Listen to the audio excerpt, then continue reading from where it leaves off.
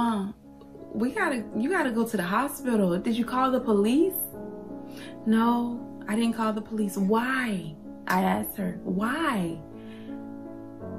She just shook her head. She was so in love, but with the wrong man. My Aunt Helena tried to convince her to go to the hospital. I tried to get, convince her to go to the hospital. We both tried to convince her to call the police. She wouldn't do it. She wouldn't do it.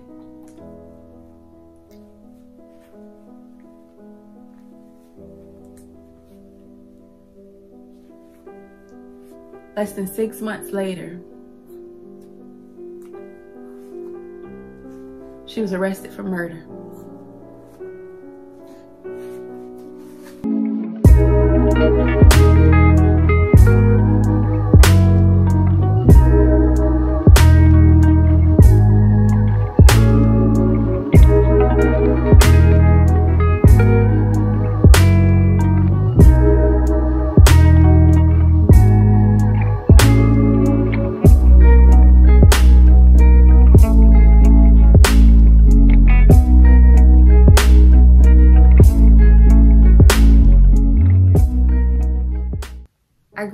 Small town in Florida. My grandmother raised me and my three brothers, and we lived a pretty humble life. My mother was unable to take care of us because she lived a lifestyle that was not conducive to properly taking care of children. She suffered from epilepsy and drug abuse, and she was just out there she was one of those mothers who loved her children, but she just couldn't care for her children. So my grandmother, whom I'm named after, Miss Lena Bell, she took care of us. She was our mother. She made sure that we went to church and we were fed and we were clothed and we had shelter. Even though we lived in a two bedroom apartment, it was our humble abode. She worked as hard as she could every single day. She worked for a fern company, pulling weeds out of the ground, pretty much.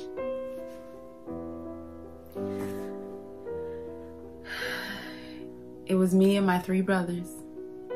I remember times when my mother would find a place to live and get herself together and get herself clean and, and we'd go to live with her for a few weeks few months, she really tried. But old demons, they always resurface. And we would find ourselves back with my, our grandmother.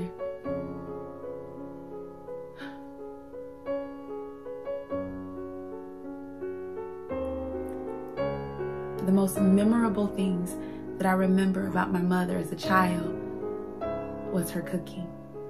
She was an impeccable cook. My favorite meal was fried chicken and corned beef hash and rice. Oh my goodness, that woman could fry some chicken.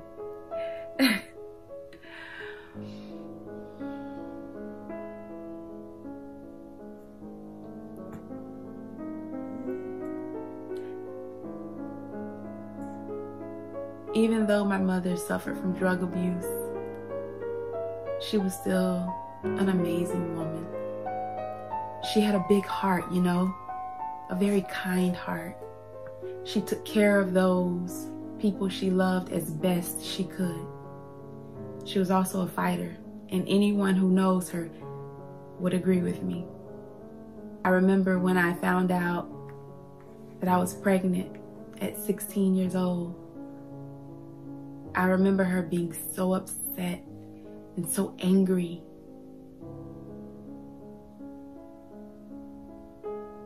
She was hurt. I could tell that she was afraid that my life would end up like hers. And to be honest, I was headed there.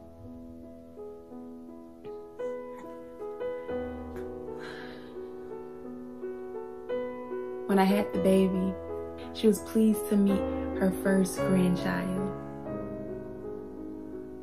She was right there for the whole 23 hours of labor.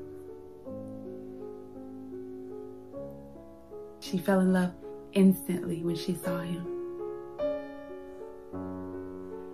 My mother had a chance to spend two wonderful months with her grandbaby. He was only two months old when my mother was arrested for murder. How was I supposed to tell him that his grandmother wasn't going to be there for his first birthday? How was I supposed to tell him that his grandmother was not going to see him take his first steps, but she would only experience them through pictures?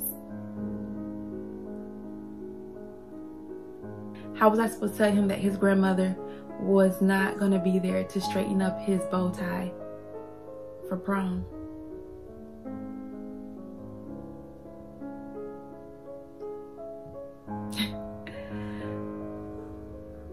there was no way of telling him.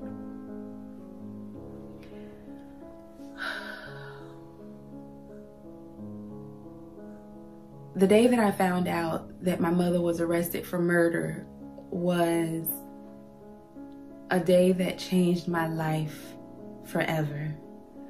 I was 16 years old with my first child, and I remember that knock on the door, and it was like seven, it was like six in the morning, and I remember thinking to myself, who could possibly be knocking on the door this early in the morning?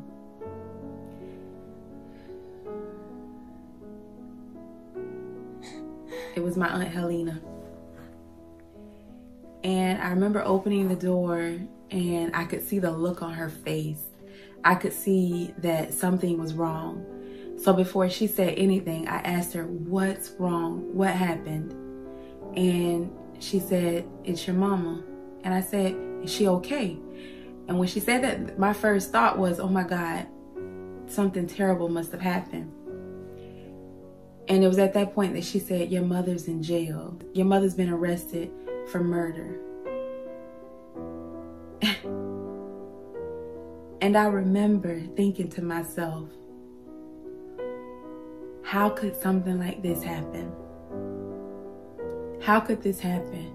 Of all the things, how could this happen?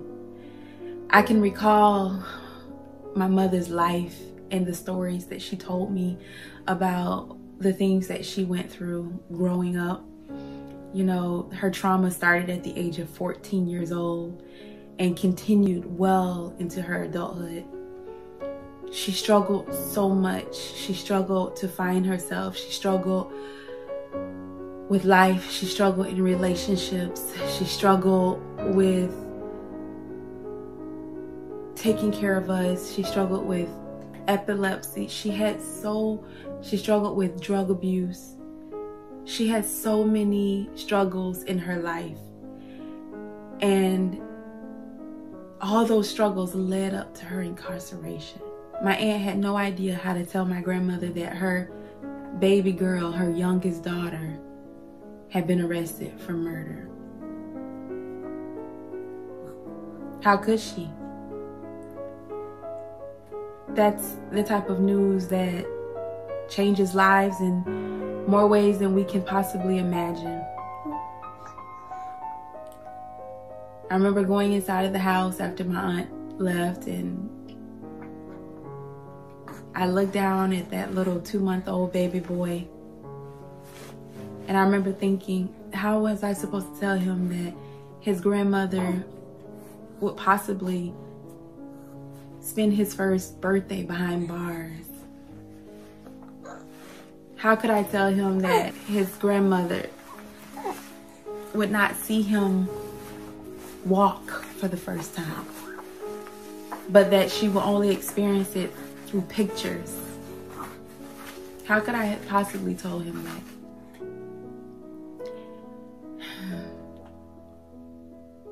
It was tough. it was really tough. I mean, I was still a kid with a kid myself. I needed my mama.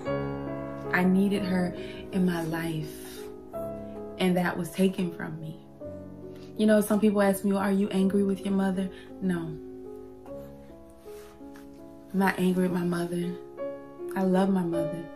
I understand the life that she lived. I understand the struggles that she dealt with in her life.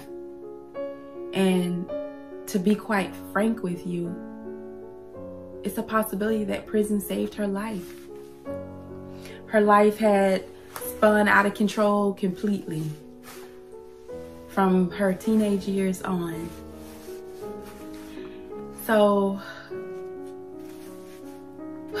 we called the police station and got the particulars. And finally, we were able to get the approval to go and visit her in jail. I remember seeing her face through that bulletproof glass window with the phone held up to my ear. And all I could do was cry. All I could do was cry. And all she could do was cry because she had no idea how she got there. She had no idea how she managed to find herself behind bars for murder. For murdering a man who said that he loved her.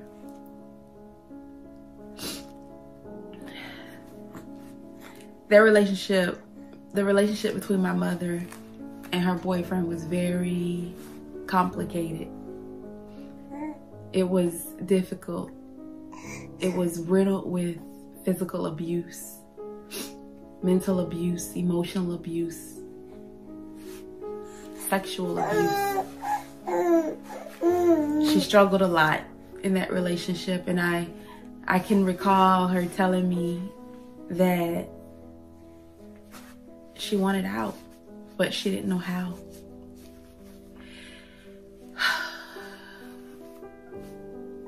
There was a, I remember a particular day when my aunt Helena, she came and picked me up and she said Lena, her and her boyfriend got into a fight and he hit her over the head with a hammer.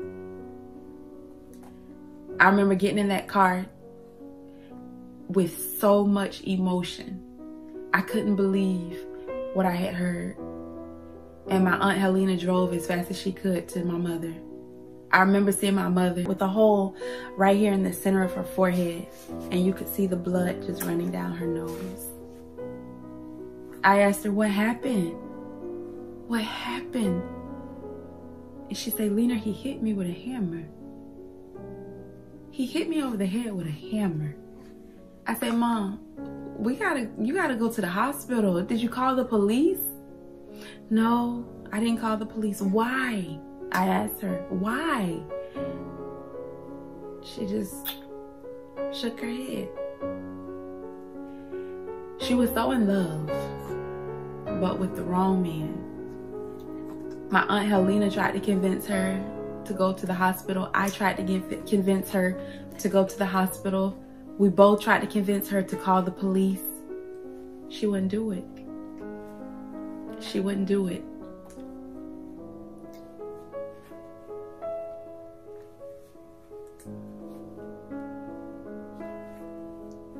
Less than six months later, she was arrested for murder. So I asked my mother, sitting across from her, with that bulletproof glass dividing us, with that phone held up to my ear, I asked her, I said, Mom, what happened? She said, Lena, he jumped on me. He started hitting me. She said the neighbors called the police. The police came out. They took him outside, talked to him, came inside, talked to me. And I told them that I want him to leave. He's hitting on me. He's beating on me. I want him to leave. My mother said the police told her that They can't make him leave because he was on the leash as well. She said, but he's hitting me.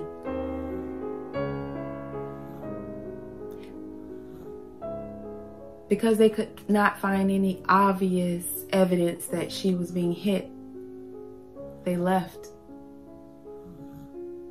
And before the police could get in their patrol cars and drive away, my mother's boyfriend came running out the door with his hands on his chest, screaming, She stabbed me. She stabbed me. She stabbed me.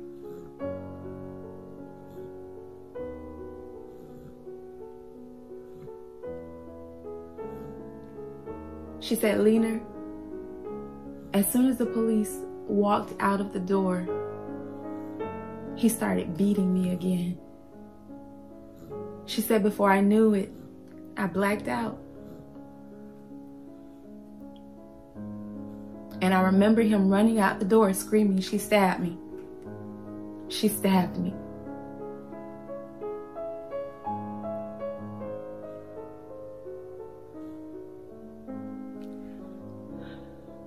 Of course, I can sit here and say, if only the police had did this, if only the police had done that, if only the police had done this. I'm a true believer of everything happens for a reason. I'm not saying a man's life, I'm, um, I'm not saying that a man deserved to lose his life. But it was either him or her.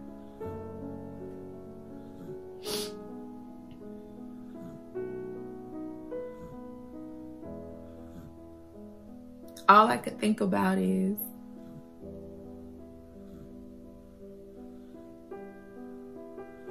all I could think about was the day I came over to her house and I saw that gash in the center of her forehead because he had hit her with a hammer.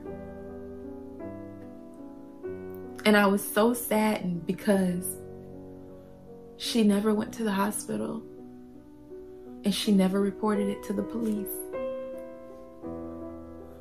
All those times he beat her, verbally abused her, she never reported it.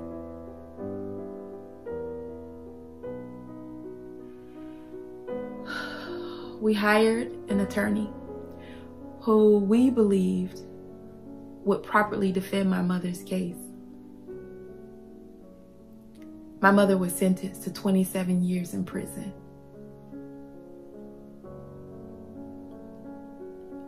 I remember at her trial getting on that stand and speaking on my mother's behalf. I was so young, but I was determined to make sure that the judge and the jury knew the type of woman my mother was the struggles she struggled with in her life. And I wanted them to desperately see how badly I needed my mother, how badly my brothers needed our mother.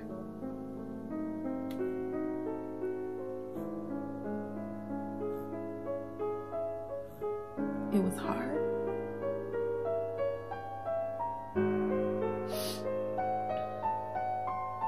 To this very day, it's hard because my mother is still not here. We go and visit her when we can, but it's not the same. She can't hold her grandbaby, her first granddaughter.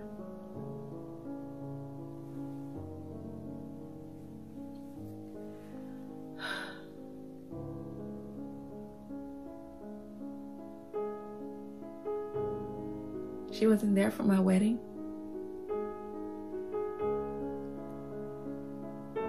She didn't meet my husband until after we were married.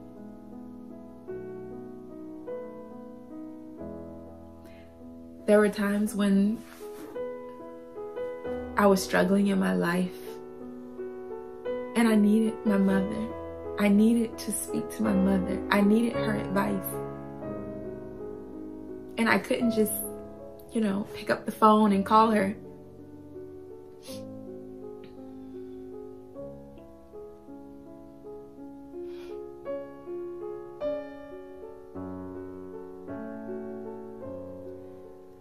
My mother gave me permission to tell her story. She wants the world to know what she went through, what she is going through. She served over 80% of her sentence already. And we are touching and agreeing and believing for her release this year, 2020. It's time for her to come home. It's time for her to be with her family. She suffered from illnesses, arthritis. I remember one day I went to see my mother and she was she was pushing a walker. She had a seizure and it was so bad that she collapsed on the ground. She hurt her hip, she hurt her back.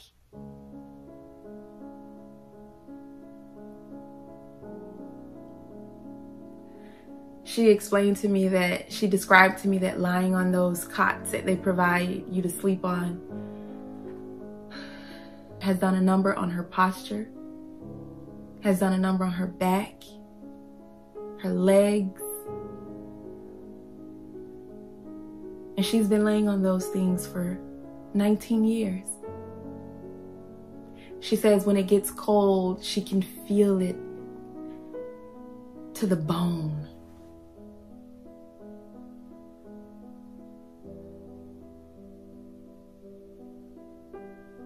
Medical care in prison is not up to par. I know this by experience because I worked at a jail and I know how it is. I know how it is in the medical department.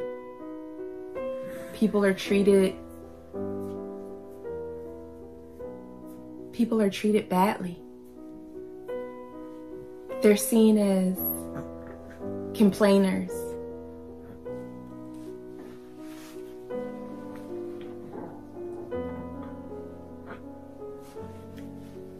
Inmates are treated badly by the nurses, by the doctors. I've seen it with my own eyes. Needless to say, I didn't stay in that job very long. It was too near and dear to my heart. She needed a scan done of her belly because there was an infection in her belly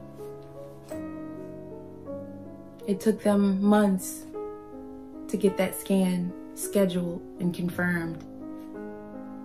My mother struggled in jail. She struggled really hard. Her sleep would be haunted with the face of her lover. He would haunt her for years.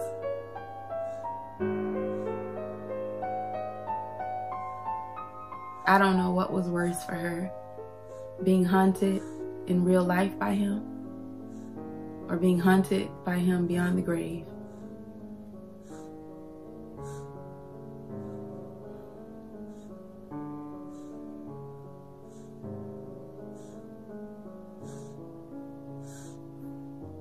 You can never really, you can never really imagine what it's like to have a family member behind bars until you've experienced it yourself. It's almost as if you yourself are incarcerated with them. I always struggled with going to visit her because you're treated like a criminal yourself. You're patted down. Your belongings are searched. They prohibit you from taking cell phones or more than $50 in cash into the prison to see your family member. Some of the guards are not the kindest of people.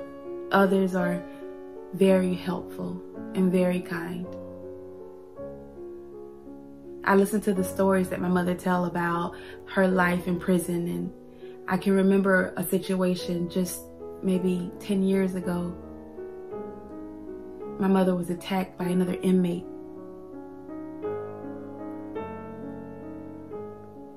The fight was over something that someone said. The other inmate filled a sock with two metal locks, you know, the kinds of locks that you use that requires a combination. She put those locks in a sock and repeatedly beat my mother over the head with them. Repeatedly. I went to see my mother three days after her attack. Her face was bludgeoned. Her face was bloody. It was swollen. Her lip was swollen. Her eye was blue.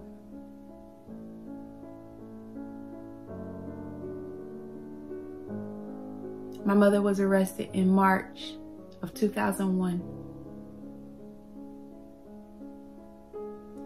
She's been in prison for almost 19 years.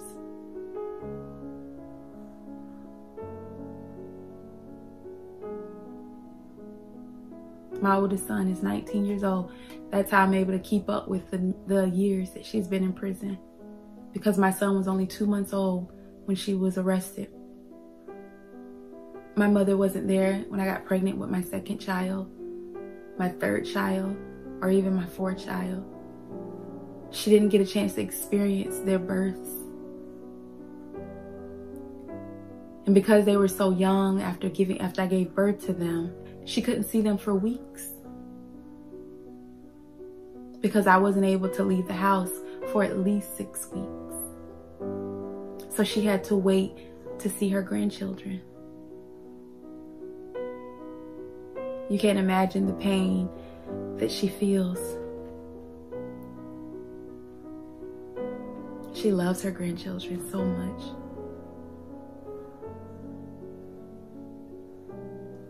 My mother talks about her life in prison and how the other inmates band together to support her. They have church groups and support groups. They're like a family, sisters. But there's always two sides to every coin.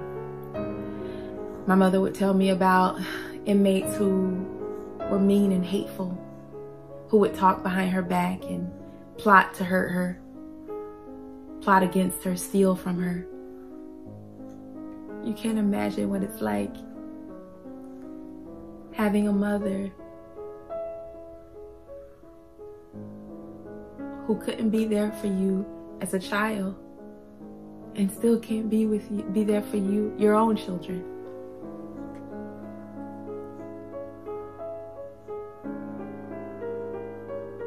I remember as a little girl, because my mother had epilepsy and she could have a seizure at any moment. I remember as a little girl, whenever my mother would leave the house, I would pray for her and ask God, Please, please, God, protect my mother. My grandmother is 86 years old and she's wheelchair bound for the most part. And for the past 19 years, she's been visiting my mother. As each year passes, it has gotten more and more difficult for her. But she still calls my aunt or calls me up for us to take her to visit my mom. My two brothers have struggled with not having my mom around.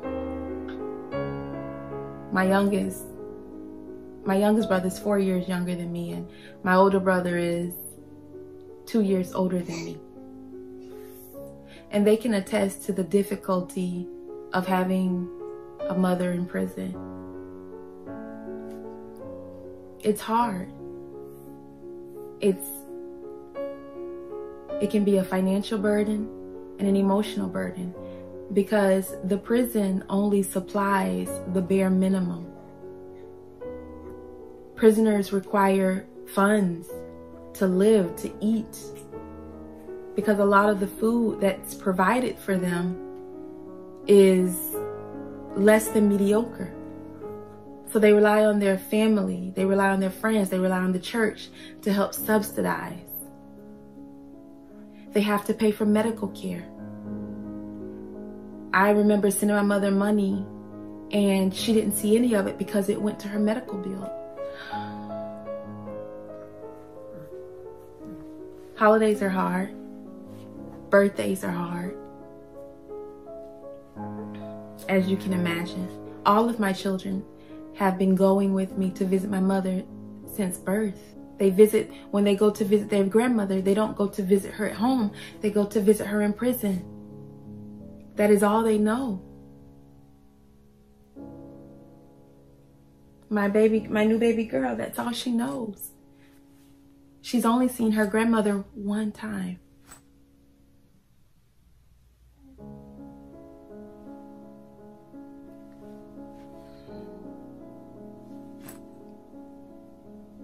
It's hard.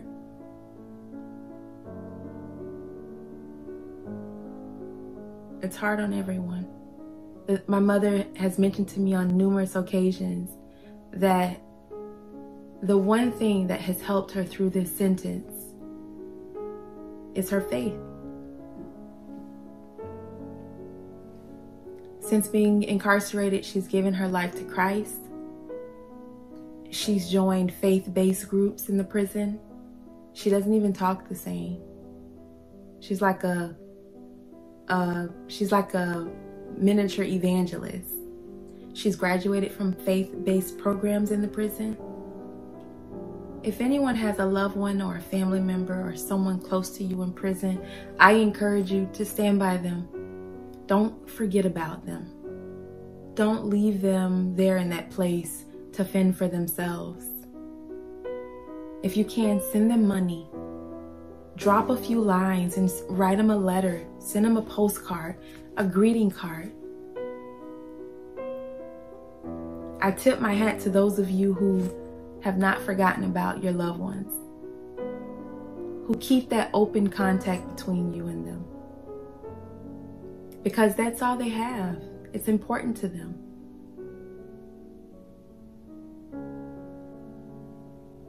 It's absolutely essential. Them getting a letter is like gold. Having money to spend to buy the things that they need and some of the things that they want is it's important to them. But I want to encourage you, I want to encourage those who do have family members who are in prison. Keep the faith I am.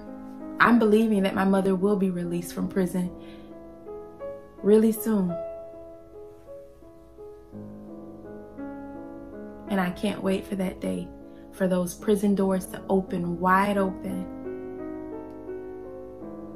And I greet my mother with open arms. And I have more of her fried chicken and corned beef hash and rice. Well, she'll probably be eating mine because I cook it for my kids.